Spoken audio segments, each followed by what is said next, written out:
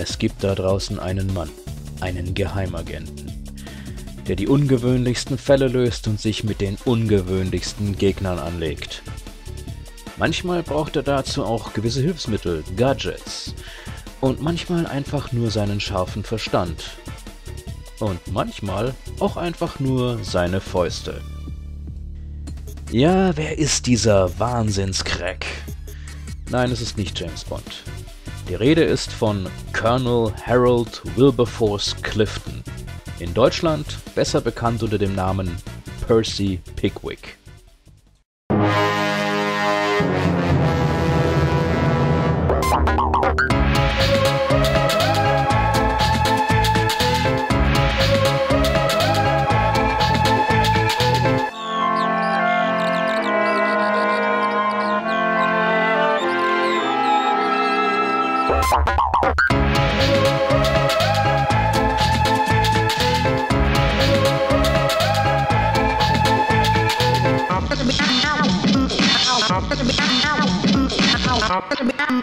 In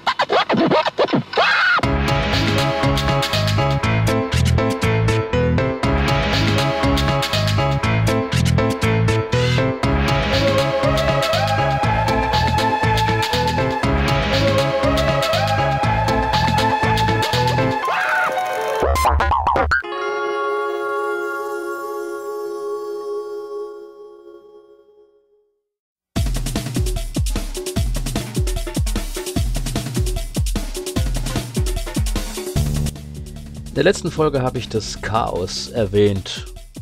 Was heißt in der letzten Folge? Ich habe immer wieder das Chaos erwähnt, das so zutage tritt, wenn deutsche Verlage franco-belgische Comics herausbringen wollen. Und auch diese Reihe blieb davon nicht verschont. Colonel Clifton heißt der gute Mann im Original und im Deutschen wurde er bekannt unter dem Namen Percy Pickwick. Aber soweit sind wir noch gar nicht. Colonel Clifton wurde 1959 von dem Zeichner Raymond Machereau erfunden. Seine Abenteuer erlebte er zuerst in dem belgischen Tintin-Magazin, also das ist das Magazin von Tim und Struppi. Allerdings zeichnete und schrieb Machereau nur drei von Colonel Cliftons Abenteuern. Dann gab er die Reihe ab und seither haben verschiedene Zeichner und Texter die Abenteuer gestaltet. Da waren Joël Azara, Michel Reynier, Philippe Ligeois, Bob de Groot, Bernard Dumont und zuletzt Michel Rodrigue. Die bislang letzte Geschichte Ballade Irlandaise erschien 2008. Die Hauptfigur Colonel Clifton ist ein ehemaliger britischer Oberst und Geheimagent im MI5. Und jeder, der schon mal James Bond gesehen oder gelesen hat, wird sich fragen, MI5? War da nicht was mit MI6? Ja, das ist richtig. MI6 ist der Auslandsgeheimdienst. Das ist klar, James Bond reist ja ständig in der Welt herum. Und der MI5 ist der Inlandsgeheimdienst. Das ist ungefähr so wie in Deutschland der Bundesnachrichtendienst und der Verfassungsschutz. Am Anfang noch sehr zaghaft, wurde die Serie immer mehr auch so eine Parodie auf die typisch britische Lebensart. Als Clifton beispielsweise einen Verbrecher aus dem Gefängnis befreien will, um an dessen Bande ranzukommen, da lässt er um die Wachen aufzuhalten, einen Kassettenrekorder mit der englischen Nationalhymne abspielen.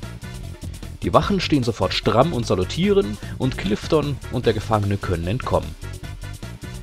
Und neben solchen humoristischen Einlagen ist auch immer wieder Slapstick ein großer Bestandteil der Serie. Cliftons Wohnort ist Puddington, geschrieben mit U, also wie Puddington. Und das ist wohl an den Stadtteil von London und gleichnamigen Bahnhof Paddington angelehnt. Ja, ganz im Allgemeinen sind die Ortschaften, in denen Colonel Clifton unterwegs ist, wenn man jetzt mal von London absieht, eigentlich keine echten Ortschaften, die in der Realität existieren. Es sind meistens äh, ja, irgendwelche Wortspielchen im Englischen. Genauso übrigens wie die Namen der mitspielenden Figuren. Lediglich der Name von Cliftons Haushälterin Patridge fällt da etwas aus der Reihe. In der Wikipedia wird vermutet, dass es sich dabei um eine Anspielung auf Agatha Christie's Roman Die Schattenhand handelt. Dort gibt es eine ähnliche Haushälterin, die genauso heißt. Colonel Clifton erlebte sein erstes Abenteuer unter dem Namen Colonel Clifton in der Zack Nummer 5 1974. Und schon da geht das Ordnungschaos los. Denn es wurde nicht die erste Geschichte des Aushilfsgeheimagenten veröffentlicht, sondern die dritte. Und in einem Einführungstext, wo die Serie Colonel Clifton vorgestellt werden sollte, kam man mit den Autoren völlig durcheinander. In dem Text wurden Bob de Groot und Michel Renier als Autoren genannt. Und das obwohl die fragliche Geschichte, wie es auch über ihr drüber steht, direkt von Maschereau stammt. Interessant ist auch, dass Michel Renier, der unter dem Pseudonym Greg bekannt wurde, nie mit Bob de Groot zusammen an Colonel Clifton gearbeitet hat. Groots Partner bei Colonel Clifton war Philippe Ligeot, äh, bekannt unter dem Pseudonym Turk. Nachdem dann ein paar Geschichten von Colonel Clifton bei Zack erschienen waren, wechselte er den Arbeitgeber und ging zu Kauka. Dort durfte er sich bei Fix und Foxy und anderen Kauka-Publikationen austoben und das unter dem Namen Sir Harold. Der Titel ist eigentlich ein kleiner Fauxpas, denn Clifton wird erst in der Geschichte Mortelle Saison zum Ritter geschlagen. Dann wechselte Colonel Clifton erneut den Arbeitgeber und wanderte zu Yps, und irgendwo da zwischen Kauka und Yps wurde der Name abgewandelt. Aus Harold Wilberforce Clifton wurde Percy Paul Pickwick. Und den Namen behielt er auch bei, als Carlson anfing, die Abenteuer von Clifton-Pickwick als Alben herauszubringen. Warum der Name geändert wurde, da habe ich leider gar nichts dazu gefunden. Ich kann nur etwas mutmaßen. Denn wie gesagt, der neue Name kam auf, als Percy Pickwick zum ersten Mal in Yps veröffentlicht wurde. Yps hatte allerdings schon eine Reihe eines Privatdetektivs, respektive erfunden hat ihn der Krimi-Autor Wolfgang Ecke. Aber wann immer es in Yps irgendwelche Detektivgimmicks kam, da durfte Perry Clifton auch hier ermitteln.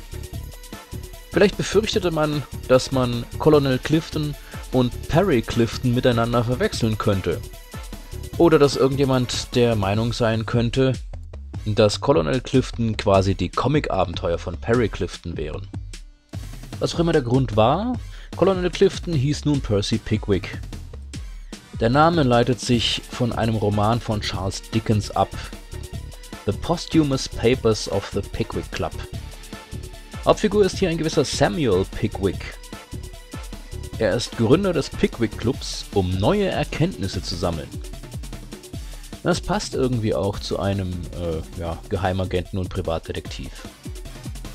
Mit der Namensumbenennung wurde das Reihenfolgenchaos noch größer, denn die erste Geschichte, die in Yps veröffentlicht wurde und die später tatsächlich auch Band 1 der bei Carlsen erschienenen Pickwick-Reihe wurde, war Sieben Tage Angst. Original Sept Jours pour Mourir war allerdings Geschichte Nummer 16 im Verlauf der Colonel Clifton-Reihe.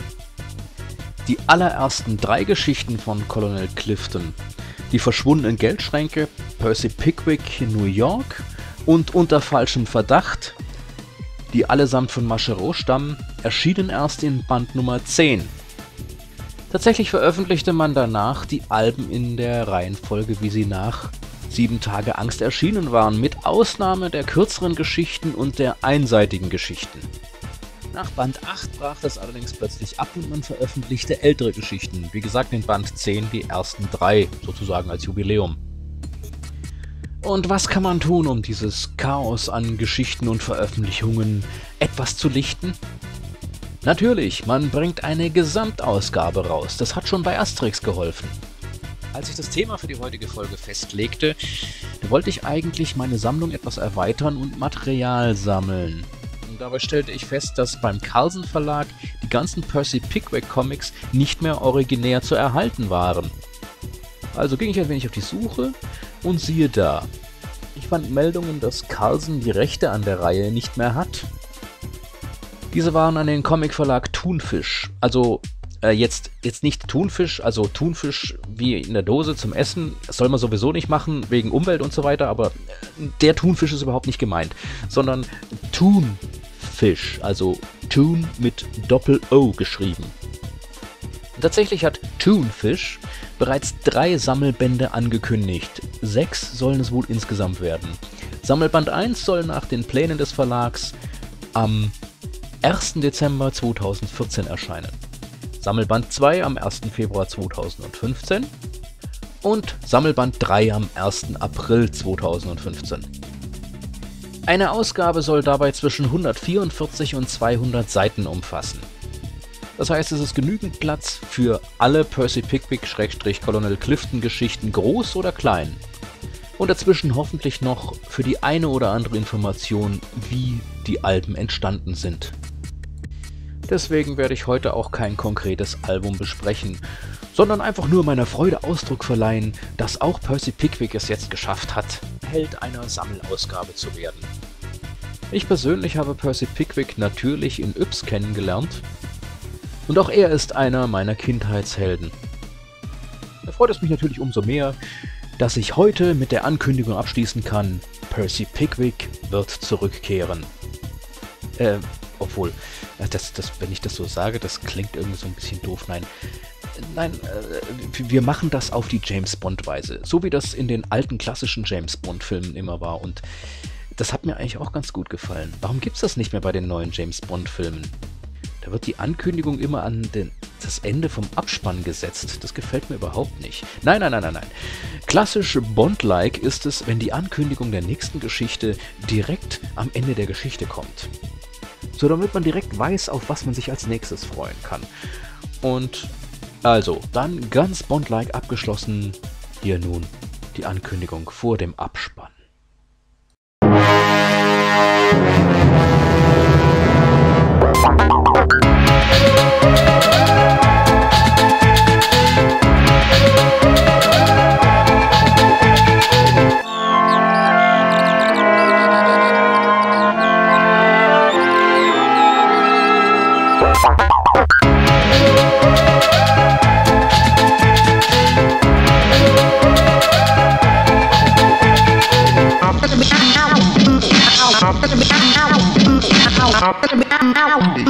I'll